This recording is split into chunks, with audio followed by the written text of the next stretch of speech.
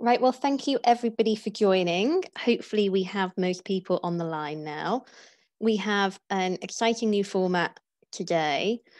Um, as you hopefully realize, this is going to comprise three bite sized seminars, followed by a networking session, which will last for about 10 minutes. There will then be a further three short webinars, followed by a further breakout session more on the breakout session to follow after the first three webinars. Um, but I am delighted to say we have a great lineup today.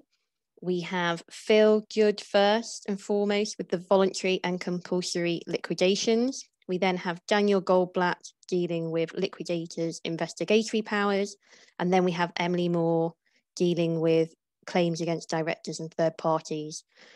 For those of you who paid attention to our invite initially, you'll note that that is changing the running order slightly. Um, and that I'm delighted to say uh, very subtly is because we have no less than four members of chambers in the Supreme Court today. So we've had to giggle around um, with the running order there. Can I um, remind everyone that we are dealing with a broad range of topics at quite a basic level. So if you are an experienced practitioner, um, we will not be offended if you want to log off at this stage. Um, but thank you for joining in any event. Um, for the rest of you, hopefully you know what you're getting yourselves involved in, and we look forward to getting to know you better during the network session. I would love to hand over now to Phil Judd, who's going to talk about voluntary and compulsory liquidations. Thanks, Helen. Hi, everyone. Um, just bear with me whilst I try and share my screen. I hope this works. There we go. Right, you should all be able to see my screen now with some PowerPoint slides. Um, but to briefly introduce myself, my name is Phil Judd. I'm a junior in Chambers and I was called in 2017. I'll be discussing both voluntary and compulsory liquidations and be providing what I hope is a useful primer and introduction to both areas. Um, and in the spirit of them being bite-sized introductions, they are both potentially potentially expansive topics. Um, so some of you may be familiar with the areas I'm discussing, um, and some of you may not be, but I hope it's useful for both of those groups. Um, and if you have any questions, then I think there's going to be a breakout session in about an hour. Um, and if you have a burning desire to ask about liquidations, I'm sure you can ask to join the room that I'm in. So it might be useful just to save any questions and, until then. So considering firstly what a liquidation is, um, to start from the basics, and I'm sorry if I'm teaching anyone suck eggs here, uh, but very briefly, it's a procedure for realizing assets for creditors. And there are two types. There's voluntary liquidations and compulsory liquidations. Um, compulsory uh, is at the instigation of companies' creditors, and it's what we might typically call winding up proceedings, uh, and is ordered by the courts. And there are voluntary uh, liquidations, which are generally by resolution of the members or sometimes by creditors. But I'll deal with them in reverse order because um, it may be that people aren't familiar with the voluntary liquidation procedure as they might be for the more contentious or often contentious compulsory liquidation uh, route. And in terms of voluntary liquidations, there are two different types. the first one is members voluntary liquidation, uh, which I'll call an MVL as a simple shorthand. Um, and there are creditors voluntary liquidations, which I'll call CVL. Now, the main difference between the two, and this is something to bear in mind for the next five minutes or so, is that an MVL uh, is initiated where a company is solvent, um, subject to a contingent claim issue, which I'll discuss shortly. Um, and in an MVL, the directors are required to make a declaration of solvency. That is, that the company is likely to meet its liabilities in the next 12 months. Um, and the creditors are therefore not involved in the decision making in a way they are in a CVL, but both a CVL and MVL commence when the members pass a resolution to wind up. Now, I'm hoping my slide is going to move on to a slide entitled MVL. Um, people jump up and down and shout if that's not actually just happened. Now, MVLs, given that they occur when the company um, is solvent, uh, the directors are required to make what's called a statutory declaration under Section 89 of the Insolvency Act. And it is worth uh, giving that act a quick read if you're not familiar with the provision. Uh, and it states in brief, and I'm paraphrasing slightly here, that the directors must make a statutory declaration to the effect that they have made a full inquiry into the company's affairs and that having done so, they have formed the opinion that the company will be able to pay its debts in full, together with interest, within such period not exceeding 12 months from the commencement of the winding up. Now, that declaration must be made before the passing of the resolution to wind the company up, but not earlier than five weeks before that resolution, uh, and that resolution must then be delivered to the registrar within 15 days. And that 15 day period starts on the day after the resolution is passed. Now, something to bear in mind here is, of course, a declaration by a director has to be uh, rooted in reasonable belief. Um, and Section 89, subsection 4, does carry consequences for directors who don't make a declaration having satisfied themselves uh, of the sort of inquiries they need to. And they can, it might seem a little draconian, um, be slammed with a fine or imprisonment. Um, and I'll deal later on uh, with what happens when directors don't make those sorts of inquiries. But as to the sort of inquiries they do need to make, um, I've set out two cases here, the BAT Industries case and the LRH Services case. And in that, or in those two judgments, um, the sort of inquiries that a, a, director needs to make or directors need to make was discussed. Um, and what they have to do is assess liabilities, both contingent and prospective, against assets. Um, but the slightly confusing area here is that it's not simply an aggregating exercise or a mathematical accounting exercise where the two sums are added together and then the director makes a reasonable assessment after that. Um, it's quite a complicated and involved factual exercise that directors should be aware that if they are later asked to uh, account for how they made that decision, um, they should be able to do so thoroughly because it does depend on quite involved factual considerations. For example, where the company is relying upon receivables in the future, the directors have to make an assessment as to whether or not those receivables are likely um, to be realizable um, and the nature of the debt and so on comes into consideration.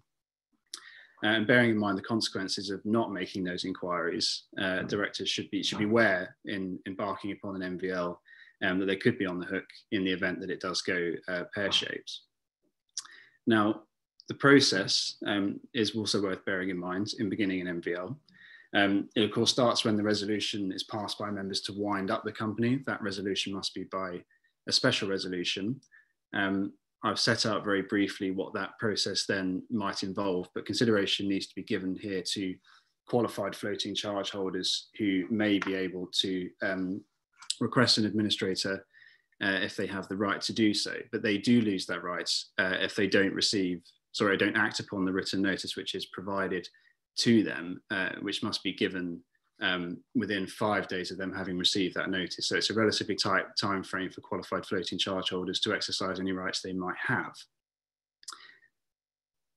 Now, after the resolution is passed, it's quite important to bear in mind that the director's powers actually cease upon appointment of a liquidator unless the liquidator or the members of the company, by way of a general meeting, allow them to continue, and that's contained within section 91 of the Insolvency Act. Um, there are various notices to be provided. Um, the declaration of solvency and special resolution must be filed with the registrar, for example, within 14 days of the resolution. Um, and I won't walk you through the various other notices that are required because they're quite laborious, but they're set out within sections 84, 85, and 109 of the Insolvency Act. Now, what happens when a liquidator is appointed in MVL? Daniel Goldblatt's going to discuss their investigatory powers, but very, very briefly, and I won't stray into his patch too far, they in large part take over the powers that a director might otherwise have uh, in ordering the affairs of a company. Um, they're particularly wide, and those of you who are familiar with Schedule 4 will know that there's quite a long list of things that a, a liquidator can do, but they're able to, for example, pay any class of creditors or compromise or make arrangements with creditors as may be required. They're also required to produce progress reports uh, once a year, the first one being one year from appointment and thereafter. Um, the contents of those progress reports are set out at Rule 18.3, uh, but in brief, what they're required to do is give an update on the progress of the um, liquidation and provide a summary of receipts, payments, remuneration, and so on. Now, after their activities are complete, they must produce a final account and deliver it in draft form uh, and give notice to the members. Uh, and then when that final account is approved, the liquidator is released and the company is dissolved three months later. Um, so we can see throughout that process, creditors have almost no role to play because it's not envisaged that the company is going to go insolvent. So the duties which might otherwise arise to them are not uh, engaged. And that is, of course, a different circumstance where we have a creditor's voluntary liquidation. But considering the boundary between the two, we have to consider what happens if during the course of an MVL, uh, the liquidator makes an assessment that the original declaration or the belief that the company would be solvent for 12 months does not in fact prove to be correct. Now, there is provision for a liquidation to be transferred from an MVL to a CVL. Um, and this occurs under section 95, where a liquidator forms an opinion that debts cannot in fact be repaid. And there are two important things to note here, particularly when considering how to advise directors and liquidators about whether an MVL or a, a CVL is appropriate. Um, firstly, is that liquidators act at their peril. Um, there's a case called Re AMF, which concerned a liquidator who was found liable for costs where they had mistakenly made a, well, disclaimed a lease, made a payment towards the debt under the lease obligations, but then realized after having done so that the company didn't have sufficient assets in order to discharge its liabilities in the future, therefore realizing that the company was likely to be insolvent within 12 months and the liquidator was found liable for the costs of the proceedings thereafter. So we do have to be aware the liquidator does have to um, bear in mind that they are personally responsible for um, anything that may come if they put that company in a position such as that. Uh, and secondly, bearing in mind that statutory declaration, directors may be on the hook for having made a declaration of solvency without a reasonable and honest belief um, in the company's solvency. And if it, of course, transfers between an MVL and a CVL, um, the sanctions which are provided by Section 89 might then be landed on a director's head. So that's something to bear in mind. Now, considering CVLs, um, I won't detain us for too long here because CVLs uh, in large part bear a resemblance to MVLs. But of course, given that the company is likely to become insolvent, the duty to creditors does arise. Um, so they bear similarities to an MVL, but creditors, of course, have a greater role in decision making. Now, there's written notice required for holders of qualifying floating charges, the same as within an MVL. Um, but when it comes to the nomination of a liquidator, the creditors are involved in that process. So directors must seek creditors' nomination of a person to be liquidator, which takes substantive effect upon nomination. Um, but if the creditor's choice of liquidator differs from that of the members, it's the creditor's nomination that prevails, bearing in mind, of course, that the overriding duty here is now to creditors rather than members. Um, similarly, with an MVL, the director's powers cease uh, on appointments unless the liquidation committee or the creditors, rather than members, permit their continuation. And the statement of affairs must be sent to creditors as well as members of the company and delivered to the registrar within five days of creditor's nomination. Um, so we can see that creditors have a much greater role in the various steps in a CVL than they would otherwise do in an MVL. Um, and I think those are probably the most important things to consider uh, when differentiating, the two types of voluntary liquidation. Um, now, I will go on to compulsory liquidation. This is potentially a large and, and expanded area. Um, and many of you will be more familiar with this, I imagine, than you would have been with uh, voluntary liquidations. Um, and it comes with the now quite familiar COVID health warning that, of course, you can't present a winding up petition in compulsory liquidations against the company based upon a statutory demand that was served between March and December of this year. Uh, and you can't present a winding up petition between the 1st of March and 31st of December based on a company's inability to pay its debts unless you have reasonable grounds for believing that the pandemic has not had a financial effect upon the company or the debt issues. So that is something to bear in mind when considering how compulsory liquidation is operating um, at the moment. But in terms of procedure, compulsory liquidation can be brought by a number of parties, but is generally brought by creditors. Um, and usually the process is that a statutory demand is served upon the company, and there are a few requirements for the basis of a statutory demand, but the main ones to bear in mind is that the qualifying debt must be over £750 and the debt itself must not be um, significantly disputed. Now, when the statutory demand has been served, three weeks can pass before a company uh, has the opportunity to uh, satisfy or compound the debt.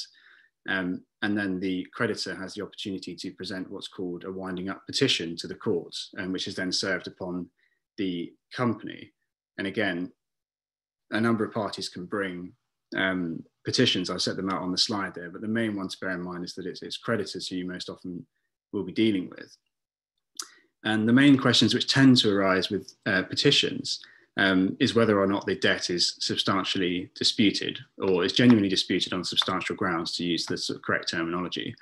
Um, you often find that companies will try and refute the debt by saying that it's uh, disputed on grounds which appear to be substantial. Um, and this can arise in a number of ways. Um, but the one that came up most recently for me was a circumstance where the creditor was suing on a debt which had been assigned to it by somebody else. And the company simply said, well, there's been no valid assignment, so you don't have standing as a creditor. Um, so you need to bear in mind that a statutory demand and a petition should not be used where there is a, a potential for that sort of substantial dispute to arise, because insolvency proceedings are just not the place to decide substantial disputes which you normally have to air by litigation and the um, evidential limits which, which come with those sorts of processes. Now, provided that's not the case, there are seven grounds on which to wind a company up, which I'll go through very briefly. Um, the most common two are that the company is unable to pay its debts, uh, and it's or it's just inequitable for the company to be wound up. Now, in relation to the first limb there, company is unable to pay its debts. This is where the statutory demand comes in useful because a company which hasn't satisfied or compounded the, uh, the debt under the statutory demand might, in so doing, demonstrate that it is unable to pay its debts. But we do have a, a definition of unable to pay debts at section 123 of the Insolvency Act. Um, and the test there is applied on the date of the hearing of the application for the winding up order. Um, and there are two real tests. The first one's called the cash flow test, um, again, many of you might be familiar with this, but this is the inability of the company to pay its debts as they fall due. And this is regardless of the company's asset position. So it might be asset rich, but otherwise cash poor. Uh, and the second one is the balance sheet test, where this is simply a shortfall in the value of the assets um, compared to its liabilities uh, and all, all, circumstances considered. Um, and there are further grounds on which to wind up a company. And one of those is that there's a failure to satisfy the statutory demand uh, exceeding £750 within three weeks, uh, where the debtor is, creditor, sorry, is proceeding on a judgment debt, um, or there is, is otherwise proved to the satisfaction of court that the company is unable to pay its debts as they fall due. But again, bear in mind, this is not a process that should be used for a disputed debt. Now, the effects of a presentation of a, a winding up petition can be potentially uh, troublesome for a company, which is why the courts are quite alive to the fact that it should not be used where there are there is scope for the debt to be substantially disputed, because the presentation of a petition has two quite serious effects for a company. One, the advertisement of the petition will necessarily have a reputational impact for the company. And secondly, Section 127 of the Insolvency Act uh, renders void transactions of the company's uh, property or dispositions of the company's property after the presentation of a petition, but before the making of a winding up order. So you have to bear in mind that when presenting a petition, you may be called to account for um, the consequences of a company not being able to deal with its assets as it otherwise might be able to. Um, I've set out on the next slide what happens after an order is made. Um, I won't detain this for too long, but effectively the official receiver becomes a liquidator until the creditors of the company appoints an insolvency practitioner as liquidator, and a number of immediate consequences then follow. Uh, and the liquidator's role um, is largely similar to that within a CVL or an MVL. They can deal with the company's properties uh, as though they were a director um, and realize assets for creditors as appropriate. Um, and when the company is wound up, the company is automatically dissolved three months after the liquidator sends the final accounts to the court. Now, that was a, a very uh, brief skip through of what happens during a compulsory liquidation. But there are four very brief points to bear in mind when considering the difference between a voluntary liquidation and a compulsory liquidation. The first one is that in a voluntary liquidation, the powers of the directors come to an end when the liquidator is appointed, whereas in a compulsory liquidation, it's the winding up order that terminates the director's power and dismisses them from office effectively. So the difference between the two routes has implications for directors. Secondly, there's a moratorium on proceedings against the company under a compulsory liquidation, um, which commences when the, the petition is presented on the company, whereas under a voluntary liquidation, there is no such automatic moratorium, which is something to bear in mind. Thirdly, um, and this should, I hope, have been obvious from what I've just been discussing, um, the level of court involvement is a lot different. So under a voluntary liquidation, particularly an MVL, um, the court has very little say in how the company is wound up, although the liquidator can apply to the court for directions if required. But of course, in a compulsory liquidation, it's at the behest and direction of the court as to whether the company is wound up or not. Um, and lastly, the timing of the various processes is a little different. So the liquidation commences in a voluntary liquidation on the passing of the resolution to wind up by the members of the company whereas a compulsory liquidation commences when the petition is uh, presented to the court. So the process itself uh, has different starting guns, as it were. Now, I hope that was a brief and helpful overview of uh, how the various processes work. Um, if you have any questions on either the cases which I've set out on the slide or any procedural um, things, I'm sure I'd be able to answer them in the breakout room. Uh, later on. But if I now hand over to Daniel Goldblatt, who's going to discuss the liquidator's investigatory powers, which I hope would link into some of the things I've just been discussing. Right. So I'll be talking about uh, a liquidator's investigatory powers. Um, because we're we're looking at investigatory powers, I, I, think it's quite helpful actually to, to have a vivid image of an investigator in mind. Um, I grew up in South Africa in the 90s, uh, where what was on television was about 10 years behind uh, the rest of the world. So I think uh, for today, sorry, when I think of a, an intrepid investigator, uh, I actually think of Jessica Fletcher from Murder She Wrote. Uh, so as a result, our hypothetical liquidator for today will be Angela Lansbury playing Jessica Fletcher. Um, now, as Phil uh, discussed and, and, touched on, um, there are various things that are quite high up on a, on a list of liquidators' duties and functions. Um, most prominent is the collection, uh, the realization and distribution of assets, first to creditors, and if, if anything's left over, um, to the company's contributors. Uh, next, they have a duty to, to take control of the assets uh, and the, the, papers and records of the company.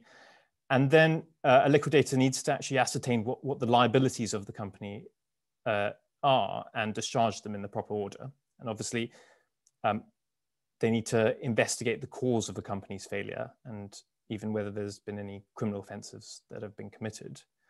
So to do their jobs properly, uh, liquidators like Jessica Fletcher need to have a, a, really clear picture in their mind of, of, what the company's assets and liabilities are, uh, who its creditors are, and they need a very good history of the company's past dealings. And once appointed or put in office, a liquidator might walk into a company's offices and face quite a straightforward stumbling block of missing accounts or records, or it might be more serious than that. They might find evidence to suggest some sort of fraud by former directors, um, but there's not enough to issue proceedings. So, in order to help liquidators in, in fulfilling their functions, Parliament has, through several provisions in the Insolvency Act, uh, provided them with quite extraordinary and, and wide-ranging powers of investigation.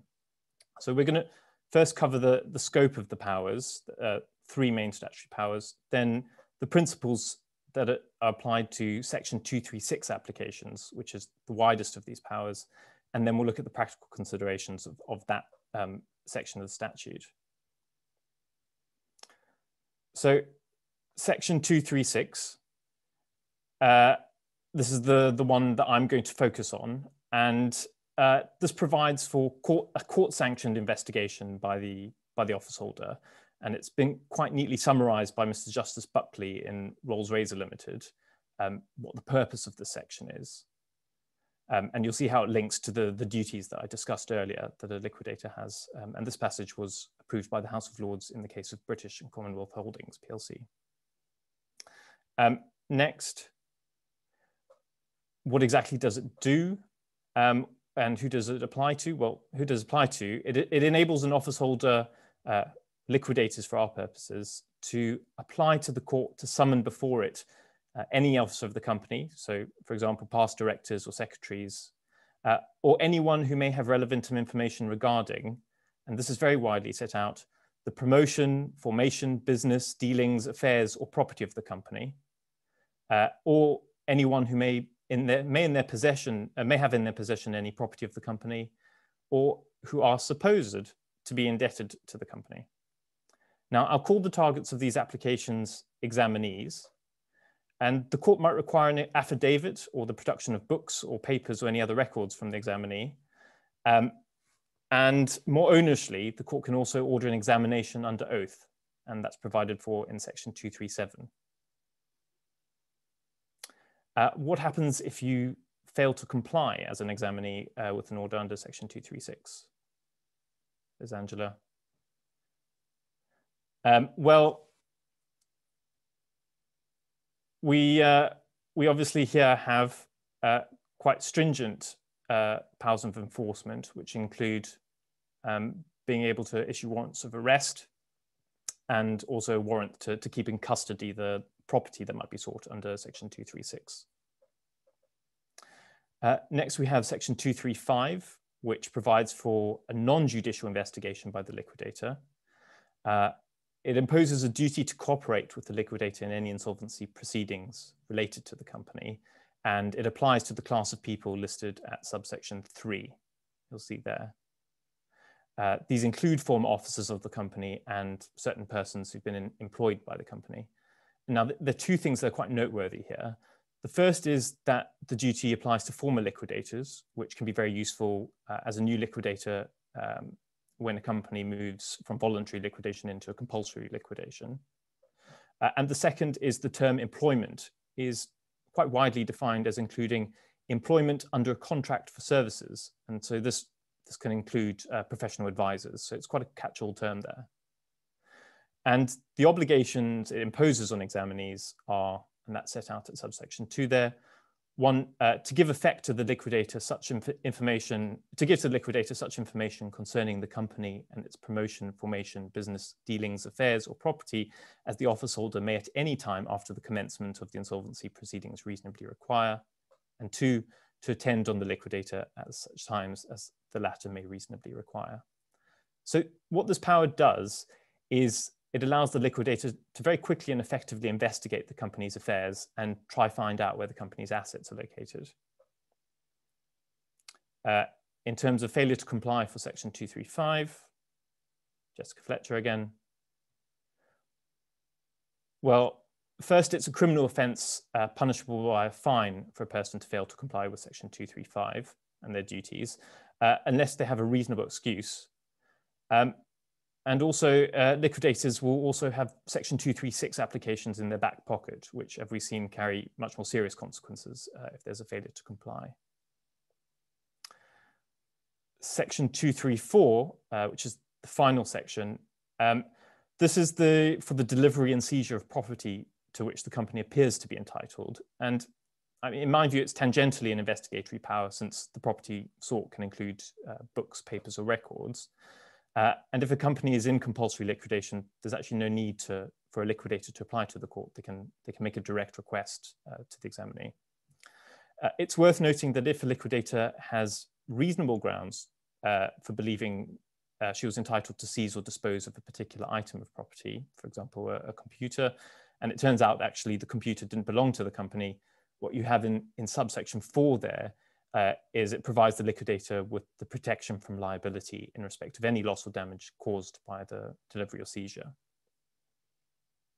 Failure to comply. Under section 234, there's actually no sanction. Um, so obviously, it's far more powerful uh, to start with your duties under section 235, uh, and then if you require, use your powers under 236 if you're a liquidator. Um, now, the principles that apply to section 236, because that's the section I'm going to be focusing on in terms of the real meaty investigatory power. So the central question that a liquidator needs to answer is whether the information sought is reasonably required uh, to fulfill her duties. So this is obviously a lower threshold than say specific disclosure applications where the test is one of necessity. And the appropriateness of making a section 236 order has been extensively considered by the courts, uh, largely because it's a, it's a power that's been described as drastic and far reaching uh, by some judges and can be extremely oppressive on the examinee. The interests of liquidators frequently come into conflict with issues of privilege and confidentiality, uh, as well as the impact an order might have on, on the due process and the right to a fair trial in separate civil or criminal proceedings that often follow these sort of orders. So bearing these in mind, uh, the House of Lords in British and Commonwealth Holdings PLC uh, number two affirmed the principles applicable to the court exercising its discretion uh, in, or, uh, in, order for an order of discovery of information. And these were summarized in the court below in the Court of Appeal by Lord Justice Gibson. Uh, first, we have uh, the discretion conferred by section 2362 is an unfettered and a general one. Uh, second, that the discretion nevertheless involves a balancing uh, exercise of the requirements of the office holder, the liquidator in our case, uh, against the possible oppression to the person for whom information is sought. Uh, number three, the power conferred by the section is an extraordinary one whose existence is due to the fact that the office holder usually comes as a stranger to the, to the events. Uh, number four, the power can be used not only to, to main, obtain general information, but to discover facts and documents related to contemplated claims, whether proceedings have been started or not, against the proposed witness or someone connected with him. It's very widely said.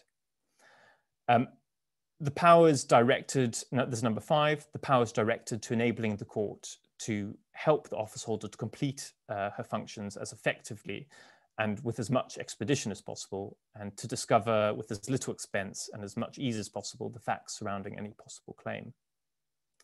Uh, number six, uh, great weight is to be given to the views of the office holder who have detailed knowledge of what problems exist and what information uh, she needs.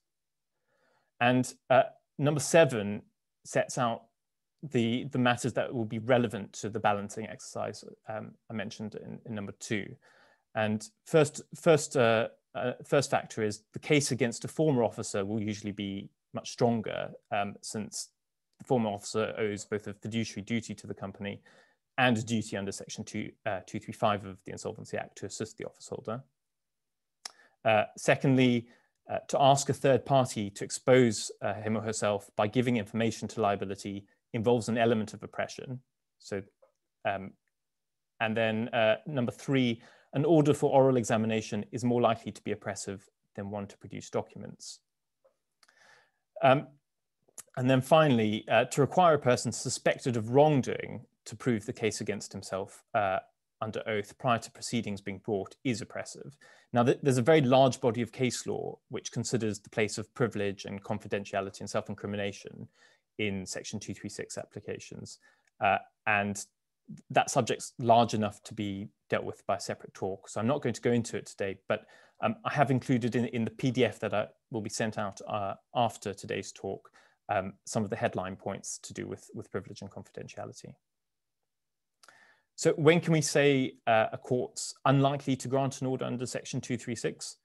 Well, if there isn't even any prima facie evidence that a substantial case exists uh, which warrants an investigation, well, or there's no real prospect of recoveries for the benefit of creditors, it's very unlikely that an order is going to be made. Um, an order also won't be made uh, where the liquidator is using section 236 for, for tactical purposes outside the intended scope uh, of the act. Um, so here, for example, uh, if a 236 application is made to extract information from a company's former accountants to bring negligence, uh, a negligence claim against them for giving negligent advice. Um, in this example, no company assets have been secreted away by the accountants, and the court might well view a Section 236 application in those circumstances as an abusive process. And that was touched on um, by Lord Justice Scott as he was in Sasea Finance. Um, now, in spite of what's mentioned uh, at paragraph four uh, up on the screen, a more recent case law has shown that in general, an order won't be made where a firm decision has been made to initiate proceedings against the examinee or where proceedings have already been initiated. uh, obviously there'll be exceptions, for example, where the intended examinee is the only re realistic source of information for the liquidator's inquiries. Uh, and finally, we'll move on to practical considerations. Um, now, the, the, detailed procedures relating to court applications and applications under section 236 are set out in the 2016 rules at 1217 to 1222. Um, can section 236 applications be ex parte?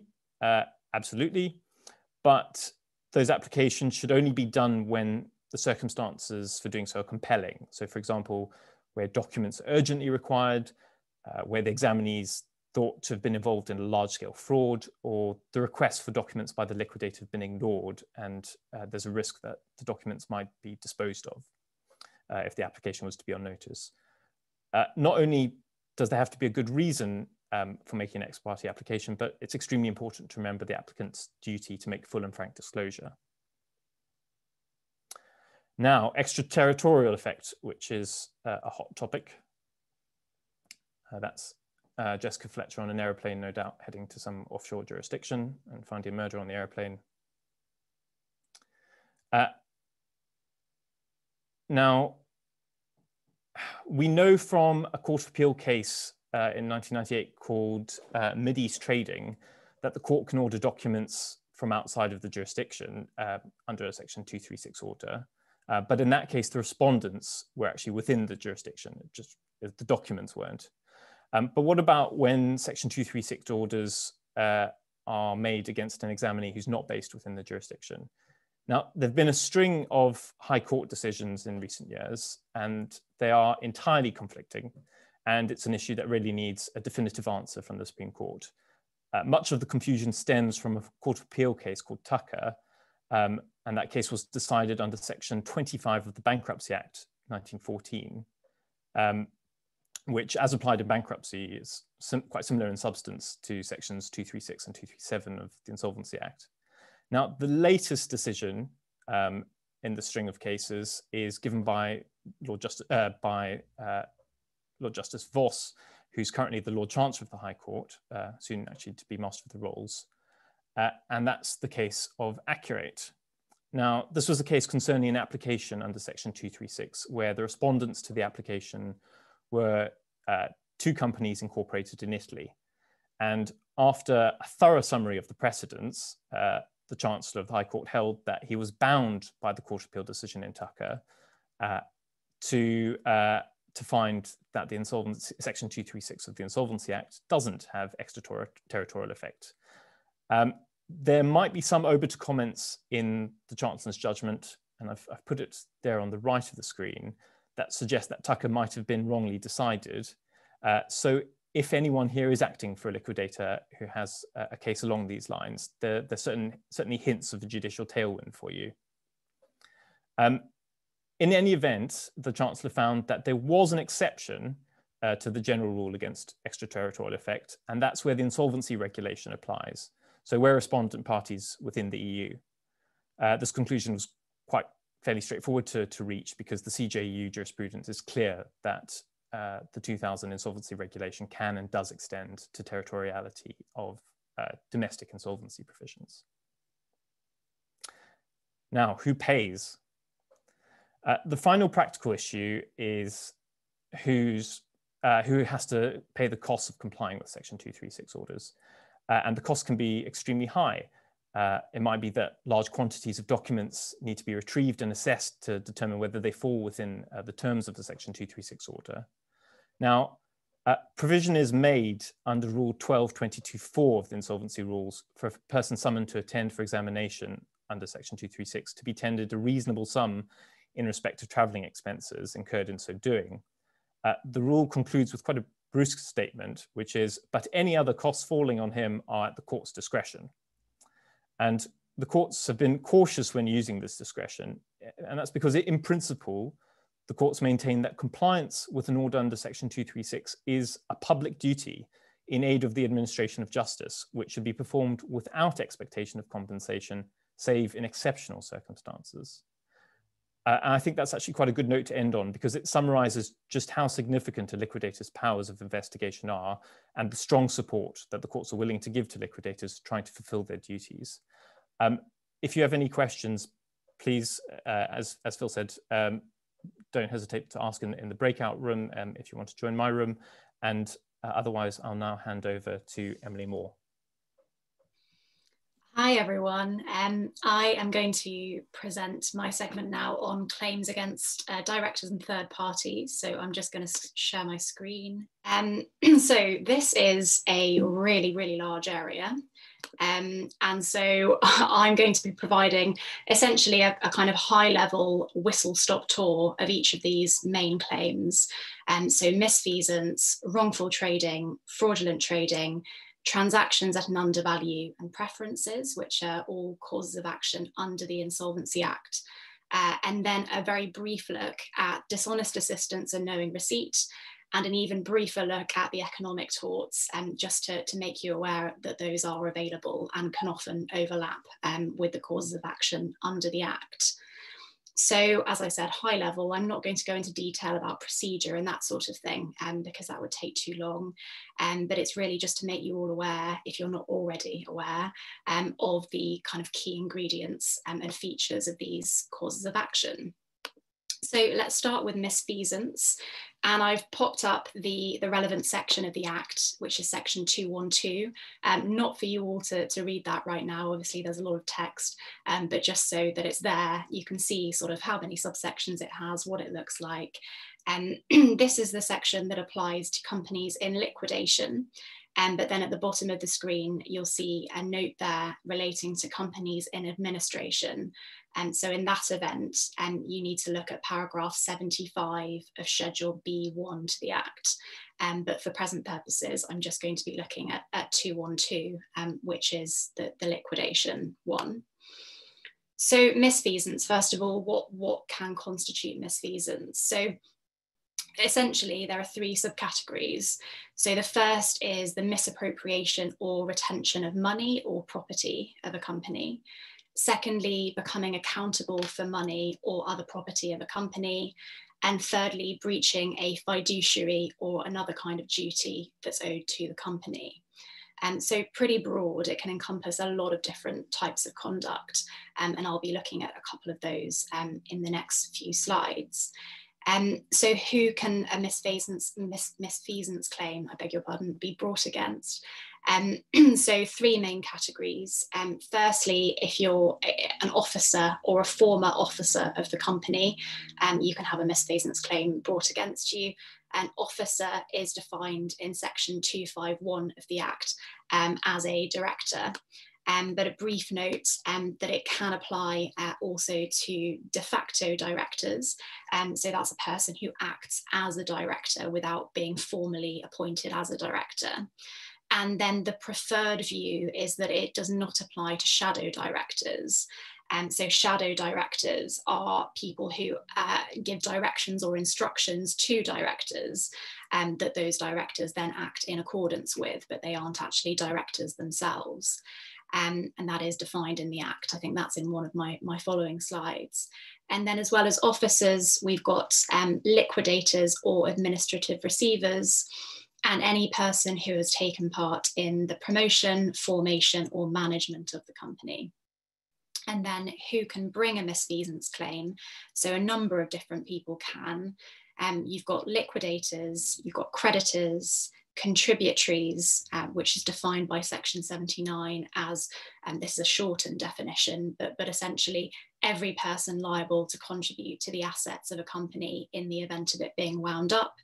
And then you've also got the, the official receiver. So um, I mentioned fiduciary duty um, as one, as one of the areas um, of conduct um, under the umbrella of misfeasance. So I've set out there just very briefly um, the seven general duties under sections 171 to 177 of the Companies Act.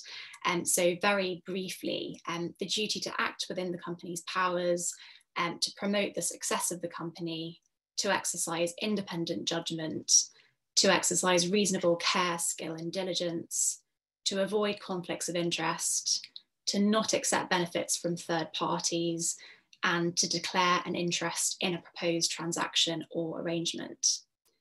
So looking at one of those in a little bit more detail. So that the section 172 duty to act in good faith in the interests of the company is largely regarded as the core duty of a company director. And I've inserted there a brief citation from the Madoff Securities case, which is a 2013 High Court case, um, where the court commented that a director owes duties to the company to inform himself of the company's affairs and join with his fellow directors in supervising them. It's therefore a breach of duty for a director to allow himself to be dominated, bamboozled, or manipulated by a dominant fellow director where such involves a total abrogation of responsibility. So that's just to give a flavour um, of what that core duty really means. And then, very briefly, the test. It is subjective, but in circumstances where the company director has failed to address their mind to the question of whether a transaction is in the interests of the company, in those circumstances, an objective test is applied. And that is essentially um, whether an honest and intelligent person um, in that position um, could, in all of the circumstances, have reasonably believed that the transaction was for the company's benefit. And then away from fiduciary duties, um, we've got sort of bog standard negligence. And so the wording of the Act, any other duty, uh, is broad enough to include um, ordinary negligence, so breach of a duty of care. And obviously that duty has to be owed specifically to the company. There's a quick example there, and um, the case of Re D'Jan of London Limited, and in essence, a company's office was destroyed by a fire. And um, as a result of the director not filling in um, the insurance forms properly, um, the company was uninsured. And as a result, it, it, it became insolvent. Um, so in that circumstance, the liquidator brought a misfeasance action against the director um, using section 212 um, and said that the director had been negligent in not filling out the forms properly. Um, and just a brief um, comment there on the standard of care. It's determined not only subjectively, um, but also on general objective criteria as well. So again, briefly, um, the remedies, so essentially um, the court can order the, the person who's been misfeasant to repay, restore or account for any misappropriated money or property with interest um, or provide compensation. And then the limitation period, it's usually six years beginning on the date that the misfeasance occurred, um, but also um, be aware of section 21 of the Limitation Act, um, which has the effect of stopping the clock um, in circumstances where there's been fraud or concealment. So moving swiftly on, I said this was going to be a whistle stop tour, and it definitely is, um, to wrongful trading, um, which is two sections forward in the Act, so section 214.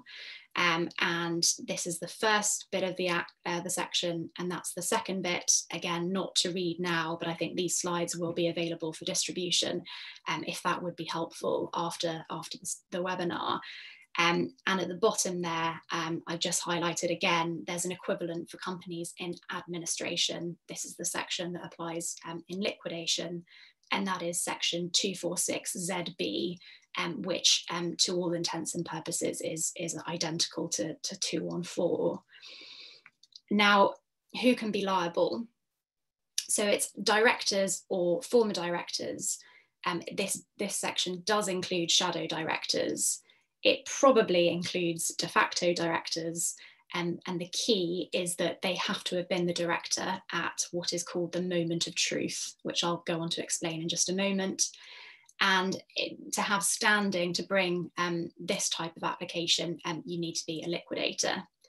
Uh, so the moment of truth um, is, and this is set out um, in terms in section 214, it's when the defendant knew or ought to have concluded that there was no reasonable prospect and um, that the company would, would avoid going into insolvent liquidation, um, but nevertheless continued, continued to trade at that time. And the meaning of insolvent liquidation is when the assets are insufficient for the payment of the company's debts and other liabilities. And that is judged from the perspective of a reasonably diligent person having regard to, and I've set out the, the factors there at A and B. And then at C there is um, another, another requirement that the defendant has failed to take every step with a view to minimizing the potential loss to the company's creditors. And that is, if I just go back in the act, so it's subsection three, and um, it's basically, it's a statutory defense. Um, so if the director can demonstrate um, that they did take every step with a view to minimizing the potential loss, um, then that's essentially a, a, get out clause for wrongful trading. Um, moving on to remedies. So the remedy, the definition of, of the remedy is pretty broad. So the, the court can declare that the person is to be liable to make such contribution to the company's assets as the court thinks proper. And there is what is largely termed the increase in net deficiency requirement, which is sometimes the, the criteria of wrongful trading that makes it quite difficult to, to prove and to quantify um, because you essentially have to measure the increase in the company's net deficiency of assets over the relevant period. So that's from the moment of truth as I just alluded to, up until the time when the company goes into insolvent liquidation. And so that can, as I said, make make thing, make it difficult to quantify the claim because, for example, um, if the company director hasn't been keeping proper records, um, it can be impossible to identify the precise extent of that increase in the um, the, the net deficiency um, because of well because there's no records in place and, and it's impossible to tell. And so it can be quite a problematic um, cause of action. And um, what is the limitation period? Again, it's six years, and that begins when the winding up order is made. Um, and just to, to, highlight briefly, I'm sure um, those watching are well aware that um, in light of the pandemic, um, wrongful trading um, provisions were temporarily suspended between the 1st of March and the 30th of September um, and I'm, I don't think we, we, we're unsure at the moment as to whether those measures are going to be extended. Um, but that was clearly um, to, to allow directors to operate their businesses through the pandemic um, without the threat of personal liability. So that's just a, a, brief note on that in terms of the pandemic. Moving swiftly on to fraudulent trading. So here we're going back a section in the Act to 213 and I'm not going to spend long on this. And um, that's the, the, the, section there on the screen, and it, it really speaks for itself. So, um, if in the course of the winding up of a company, it appears that any business of the company has been carried on with the intent to defraud creditors um, of the company or of any other person, or for any fraudulent purpose, the following has effect and the courts can, on the application of the liquidator, declare that any persons who were knowingly parties to the carrying on of the business in the manner described, um, they will be liable to make such contributions to the company's assets as the court thinks proper. And then again, there's an equivalent section for companies in administration, um, which is section 246ZA, again, virtually identical to, to this section. And just a few key points, as I said, I won't go into as much detail about fraudulent trading, um, as well as the civil liability under 213. And um, you've also got criminal liability under section 993 of the Companies Act. Um, a person guilty of fraudulent trading can be made subject to a disqualification order. And um, this type of action is brought by a liquidator. And the key point to note, really, the key difference between um, 213 and 214 is that it, it's fraudulent trading um, affects essentially accessories as well. It's an accessorial liability type of section. So any persons who were knowingly parties to the carrying on of the business. So that can extend to the holding company, to creditors, to banks. Um, and um, I'll be drawing a brief parallel when I go on to talk about dishonest assistance as well, because there's quite a lot of similarity um, with that. Um, so it is a higher threshold because obviously you're having to prove dishonesty, um, but applications can be brought for wrongful trading and fraudulent trading at the same time. So moving on to the two reviewable transactions that I'll be looking at. So firstly, transactions at an undervalue and known as TUVs. Um, so this is section 238. Um, again, not to be read through now, um, but just for, for ease of reference. Um, so who has standing to bring an application um, under 238? Um, you need to be a liquidator or an administrator. And the key with this section is the relevant time, which is defined in, in section 2240. So essentially, there's two components to the relevant time. So the transaction in question needs to have been entered into during the two years before the onset of insolvency. And at that time, the company needs to have been unable to pay its debts at the time of the transaction, or it, it became unable to pay its debts as a result of the transaction. So that's the insolvency requirement.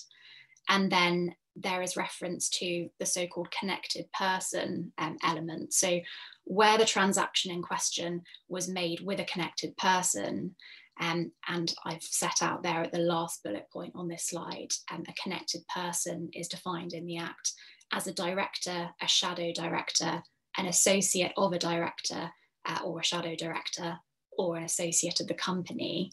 So if the transaction's made with, with one of those, then there's a presumption that the company was insolvent at that time.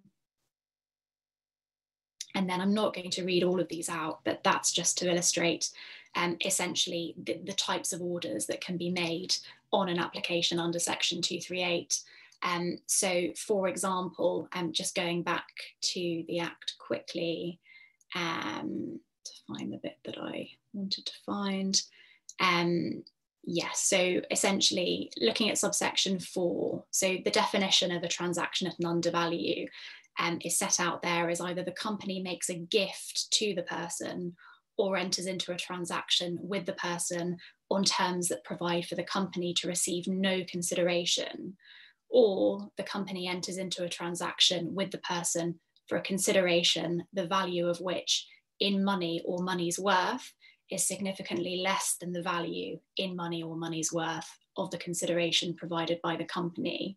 So if, if either of those situations arises, so for example, in the case of a property being transferred, um, then the order that the court would make would be an order that that property be transferred um, and be revested in the company from the person that it had been transferred to. Um, so I won't read out the rest of those potential orders, but they're they're set out um, in the Act, Section 241, and they're they're fairly self-explanatory um, and show that the, the remedies are pretty pretty all-encompassing. And then the limitation period for this one is a little bit more tricky because it depends on the type of remedy um, that you're seeking. So if you're seeking a non-pecuniary right, so like the example I just gave with the property being transferred and you're, you're trying to get the property to be revested in the company, and then that type of application is treated as an action on a specialty and it has a 12 year limitation period under section 8 of the limitation act but where you're seeking a sum of money um, then it's six year um, limitation period and where there's any doubt as to the appropriate category, just set out um, the, the, the, the, case law on that. Essentially, you look at the substance or the essential nature of the relief being asked um, to determine whether it's 12 years or, or six years. So moving swiftly on, I won't detain everyone too long as we're meant to have our first break um, around now. Um, but preferences, um, so a lot of similarities with transactions at an undervalue. Um, so essentially, um, section, subsection four here is the key. So a company gives a preference to a person if that person is one of the company's creditors or a surety or guarantor for any of the company's debts or other liabilities, and the company does anything or suffers anything to be done, which has the effect of putting that person into a position which, in the event of the company going into liquidation, will be better than the position that he would have been in if that thing had not been done. Um, so that's pretty self explanatory. And then, very briefly, uh, so you need to be a liquidator or an administrator to bring an application under this section. Um, I've set out the, the, the, test for essentially when a preference is given already, and that's set out in the Act. And the relevant time for preferences is slightly different to transactions at an undervalue.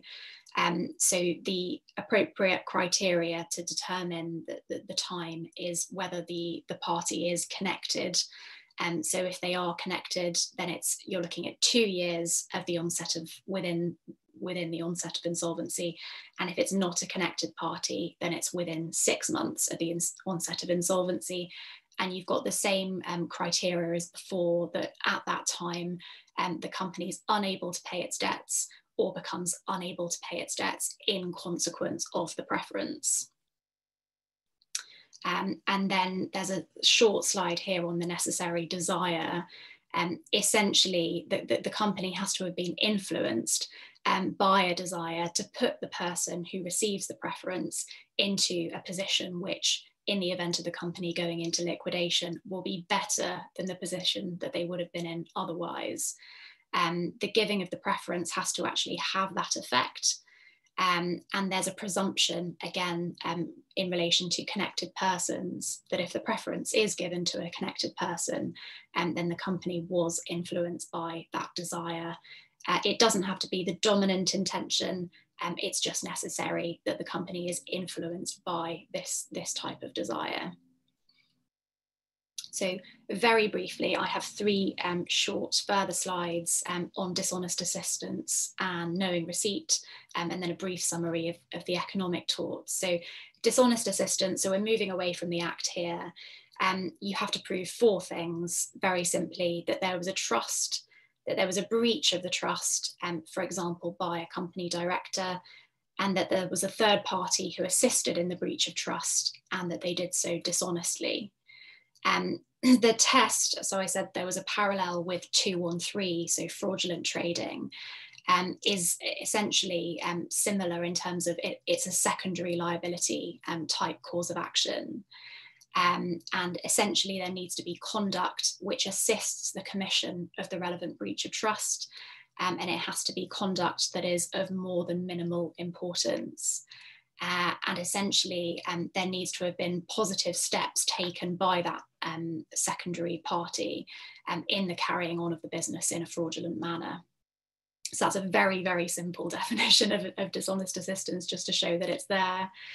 Knowing receipt obviously um, most people are probably aware of this i mean it is what, what it says on the tin the emphasis is on actually receiving um, property in a breach of trust um, and it's property that was held um, subject to a trust or subject to a fiduciary duty um, so if the first four of these um, criteria that are on the screen right now if they are satisfied then the defendant is a constructive trustee of the trust property um, and there's an equitable proprietary remedy. Um, but if all six are satisfied, so in addition to the first four, if the receipt is for the defendant's own benefit and they've received the property with knowledge that it is trust property and that it has been transferred in breach of trust, so there's, a, there's the knowledge element, uh, then there's also a personal equitable remedy against the recipient. So that again is a very, very brief um, overview. And then finally, um, just not going into any detail on each of these, but just making the audience aware that they are available. So the economic torts, procuring a breach of contract, intimidation, causing loss by unlawful means, and then probably I think conspiracy is the one that most people will already be familiar with. Two types, unlawful means and lawful means.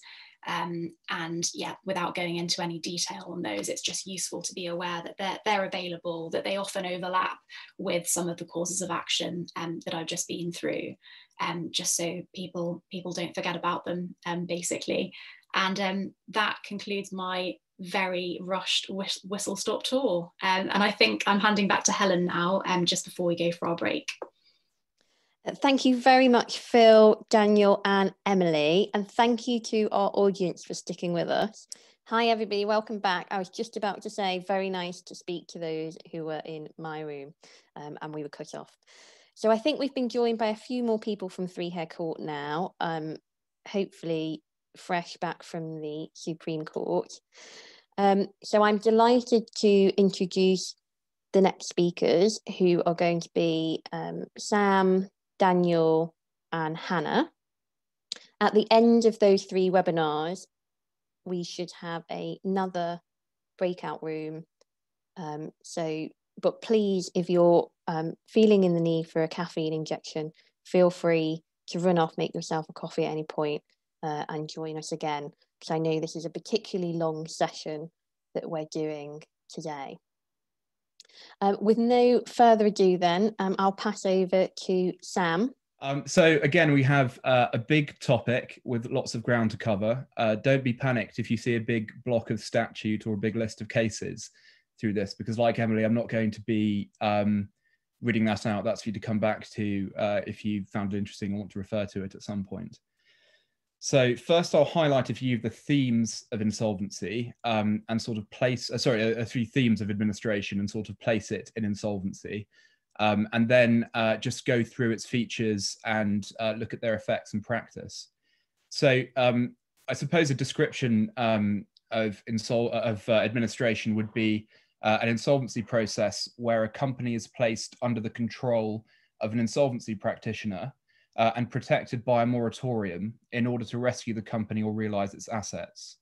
Uh, I mean, one thing to note about administration is that it's not a standalone procedure. It's not something that um, can really be used uh, uh alone because it's a, a transitive process uh, and not something um, uh, that that can, on its own, produce a restructuring. Uh, so it doesn't have all of the tools necessary to achieve a company reorganization. Um, it gives the company time to achieve a reorganization through uh, some other method. So that could be a CVA, scheme of arrangement, or uh, some other negotiated outcome, or a, li a liquidation. Um, so uh, I think it's quite helpful to think about why administration was created uh, and what it was intended to do in order to really understand what it does now, um, particularly given that administration, which was uh, sort of thought about and created in the 80s, is quite a young procedure when you consider that other insolvency procedures like receivership um, are well over 100 years old. So um, administration was created in uh, following a, a 1982 government review into English insolvency. Uh, and they found a few problems with it. Uh, most of all, that there were only two procedures in English insolvency at the time, and those were liquidation and receivership. Uh, the result is that there was no procedure uh, in English insolvency uh, it, it, that, that had the goal of rescuing uh, a company or rescuing a business. Uh, and as a result, a lot of going concern value in the economy was being lost when businesses that were viable but facing temporary financial distress uh, were uh, and unable to reorganize uh, uh, with a sort of protective sheltering around them um, that other jurisdictions allowed. So it might, uh, at, first, um, the procedure of receivership uh, might look like it's it, it, was suited to rescuing a business, and this did exist in the 80s. Um, but actually, it was not intended to rescue a business and would be quite poorly suited to it. Uh, so, receivership is not a procedure uh, designed to rescue a company in financial distress. Uh, the receiver is uh, acting on behalf of the qualified uh, of the floating charge holder and given extensive powers over a company's affair uh, uh, affairs, but is given them in order to realize the value of a company's assets uh, to repay the floating charge holder. So, although a receiver is an outside uh, practitioner who comes in to take charge of a company uh, and uh, administer its affairs, they do not have the goal of reorganization. Um, so, certain um, features of receivership are that they often result in liquidation uh, that liquidation often happens at the expense of unsecured creditors, the company, other stakeholders, uh, and the receiver owes very limited duties to the company. Um, but that said, uh, administration, when it was created, did borrow certain ideas from receivership. So, uh, much like receivership, an outside practitioner is brought in to oversee the company's affairs. Um, and the benefit in that, in, in the Cork report in 1982, was, was seen as being that if you had uh, management that were ineffective or for some other reason contributed to uh, a company's insolvency, having an outside expert come in uh, to balance the books uh, was worthwhile, particularly if they were given extensive powers over the company. um, another place that uh, uh, policymakers look to for examples of a procedure to rescue companies was Chapter 11 in the United States Bankruptcy Code, which some of you might be familiar with. Um, so uh, this is a procedure that is quite different to administration. It's not a practitioner in possession procedure; it's a debtor in, in uh, uh, possession procedure. So uh, an outside expert is not brought in; it's the company's management who remain, uh, but they are given um, an extensive shielding in the form of a moratorium uh, or an automatic stay, depending on which jurisdiction you're in. Um, and they uh, the, the, automatic stay is much is is very is very extensive now and was then. Um, so that is sort of the background to um, to administration and why it was brought in. It was brought in uh, to fill this vacuum that existed um, uh, uh, uh of a procedure in English insolvency to rescue uh, businesses or rescue companies. Um, uh, administration was then uh, reformed in some quite important ways in 2002, uh, largely because a lot of people were not using it um, who could have.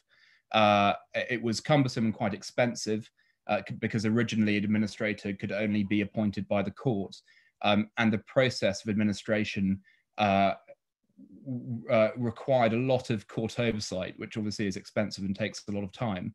Um, administration could also uh, before the Enterprise Act be bypassed by a floating charge holder uh, inserting a, uh, uh a receiver in uh, uh, who obviously would owe duties to them and not to the company. Um, so administration today is um, a result of the changes of the Administration Act as well as the original provisions of the sorry of the Enterprise Act as well as the original provisions of the Insolvency Act that created it. Uh, and today it's largely found in Schedule B1 uh, of the Insolvency Act. Uh, so, sorry. Um, so, uh, entering administration. So, the uh, Insolvency Act at Schedule B1 uh, provides three ways for entering administration via court order. So that was, you know, as it was before the Enterprise Act. Um, but it can now be done also uh, through appointment by a qualifying uh, floating charge holder uh, and also by appointment by the company or its directors. Um, again, I'm not going to read uh, through these. You can um, come back to them if you find them interesting. Uh, so the Enterprise Act, uh, interestingly, also codified exit routes from administration um, which seems like an obvious thing to do now, but actually at the, at the time before the Administration Act, sorry, before the uh, ent- uh, Enterprise Act, uh, administration, uh, uh, there was no clear route out of administration, and there was a lot of litigation uh, over when a company could lead, leave administration. Um, and a lot of court supervision, su- supervision ensuring that companies left administration properly.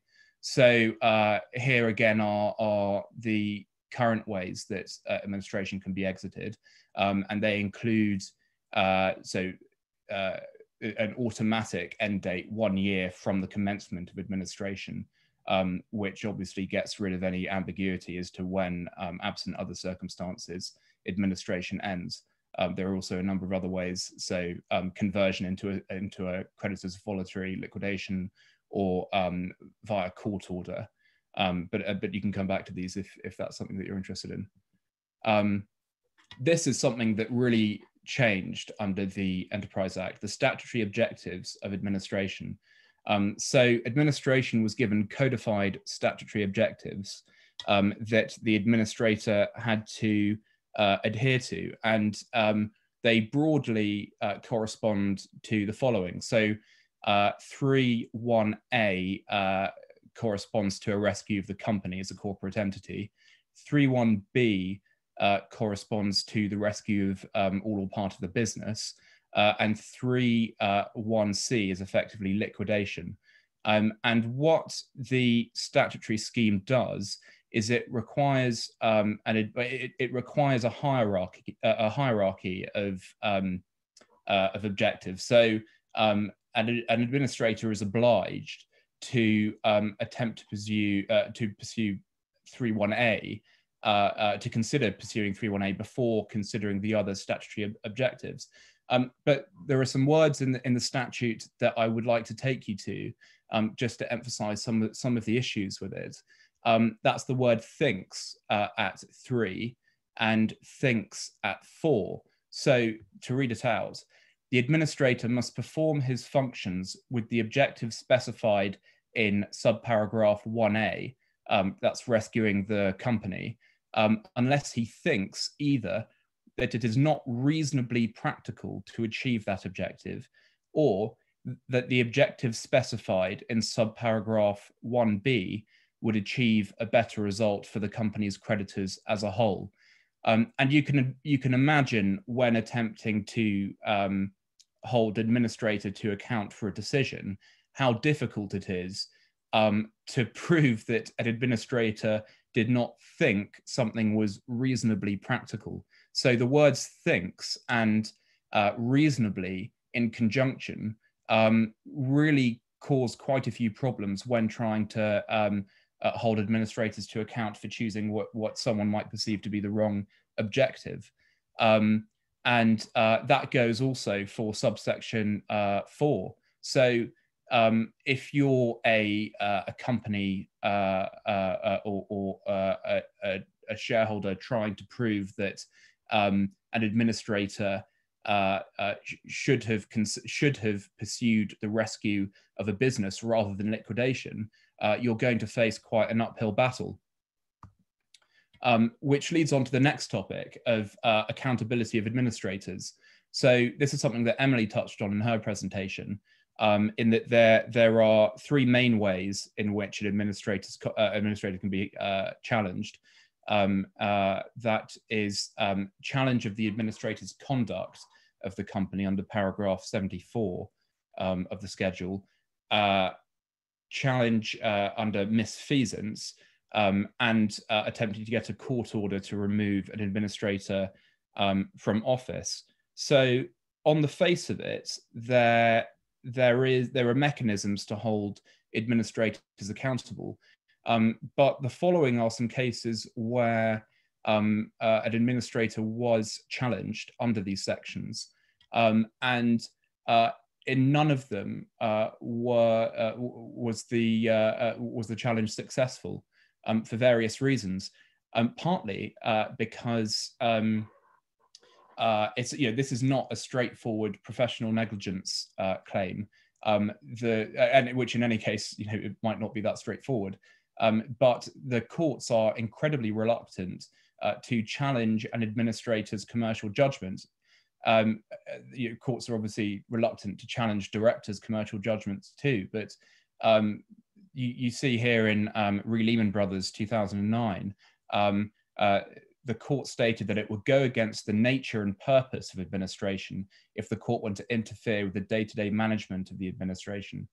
Um, and an administrator's conduct would need to be plainly wrong to be successfully challenged.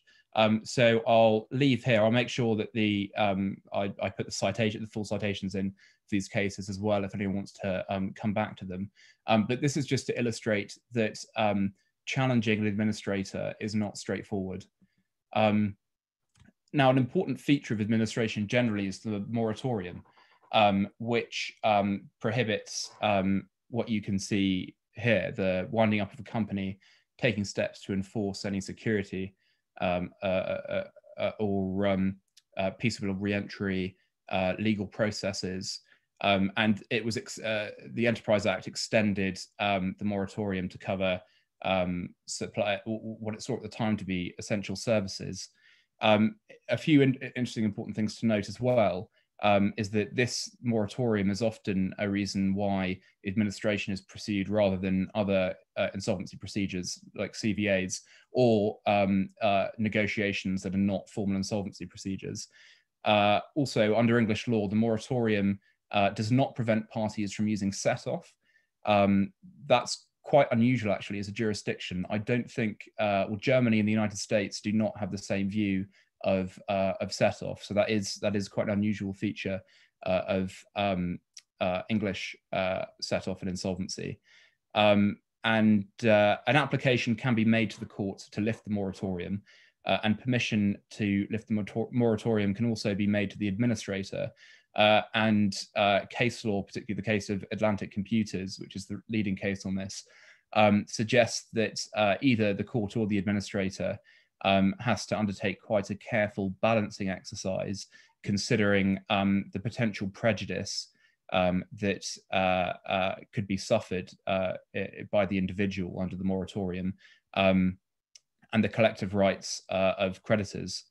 Um, there were some recent, very recent important changes to um, the moratorium and administration as well um, under the Corporate Insolvency and Governance Act 2020, uh, which really helps with uh, what can be known as ransom creditors. And this is something that has been on the reform agenda for some time.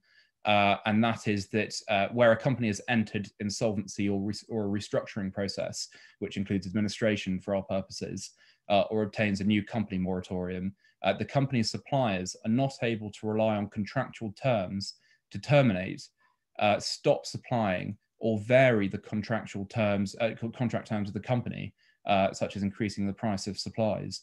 the customer is required to pay for any supplies made uh, once it is in the company moratorium or insolvency process, but is not required to pay outstanding amounts due for past supplies while it is arranging its rescue plan.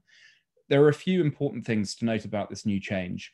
Um, it is a big uh, increase in protection for companies in administration uh, compared with those under the original Insolvency Act and under the Enterprise Act. Um, but it's perhaps less generous than it first seems uh, in that it only uh, targets upstream contracts and not downstream contracts. So, um, uh, to give an example, uh, if you are a business um, uh, uh, buying supplies, essential supplies, um, this legislation will protect you. This legislation will not protect you from customers who now refuse to buy your goods or services as a result of your uh, insolvency. So it sort of half protects um, uh, companies in administration. Um, this can be quite interestingly contrasted to uh, the moratorium under uh, under Chapter 11 in the United States, um, which not only uh, bans ipso facto clauses, i.e., clauses that uh, end a contract due to the fact of a company's insolvency. under American Chapter 11, a company is also entitled to pick and choose its own contracts and uh, ditch the uh, non-profitable ones uh, uh of its own volition. So, for example, if a company in Chapter 11 uh, had a contract to sell uh, oil at $50 a barrel and the price of oil during the administration goes up to $60 a barrel, it can ditch that original contract and look for a new buyer of its oil. Um, so compared to international comparisons uh, or you know equivalent uh, processes in other countries uh, and compared to what it could be, um, this uh, change to the legislation is perhaps less generous uh, than it seems uh, at first. Um, and that might be a good place to end. My name is Hannah, and I'm going to be giving the fifth talk in today's series on CVAs. Um, I'm going to be giving you a whistle stop tour on the basics of CVAs. So I'll be covering what is a CVA and its purpose, what entities are eligible for a CVA, the procedure for a CVA, and finally, um, which is particularly topical at the moment, challenges to a CVA.